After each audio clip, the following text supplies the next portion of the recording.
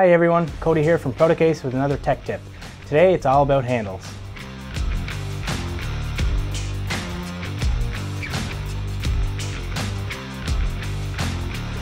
We offer multiple size handles for your enclosures to make removing and handling a little easier. We have three simple sizes, small, medium, and large. These vary in size and mounting style. But we also stock oval size handles that can be mounted on your enclosures or panels as well. So what's the difference? If you're using these on your rack mount faceplates like I have in front of me here, uh, you would use a small handle on any size up to 2U, you would use a medium handle on 2U and up, and you would move into a large handle with 5U and up. These handles are not limited to rack mount faceplates, but can also be used on other types of enclosures as well. Both small and medium handles require a fastener to be installed from the back side of the panel. The handles are threaded and accept screws. The small handles take a 632 and the medium handles take an 832.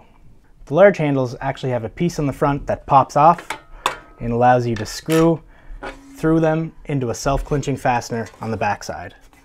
These handles take a 1032 self-clinching fastener in which Protocase can install for you. Feel free to check out our website for more information regarding these handles. We put some direct links in the description below. Also be sure to check out our blog which outlines many other technical tips or just send us an email at info at protocase.com. Thanks for watching this week's video. I hope you found it helpful. Please be sure to tune in next week for another Proto Tech Tip.